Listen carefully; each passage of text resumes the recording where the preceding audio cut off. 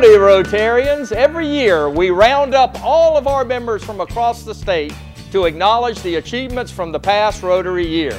Well, cowboys and cowgirls, this year ain't no different. We're going country.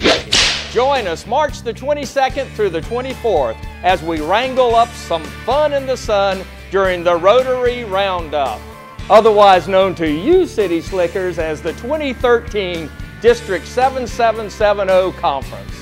We're going to celebrate your achievements from the past year, share your great Rotary ideas, and even make some new friends along the way during this 2013 Rotary Roundup. This year, we're fixing to meet at the beautiful Grand Dunes Marriott in Myrtle Beach, South Carolina.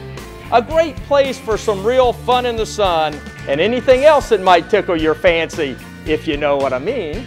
Besides the beach, there's a whole lot to do in Myrtle Beach, like taking a stroll down the new boardwalk, shopping for some new duds, or even ride on that newfangled sky wheel.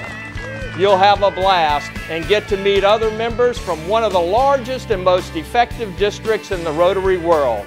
So don't dilly-dally now, you gotta register online at www.rotary7770 to join this shindig. Well, what are you waiting for? Now get along now and register today and we'll see you in 2013. Yeehaw!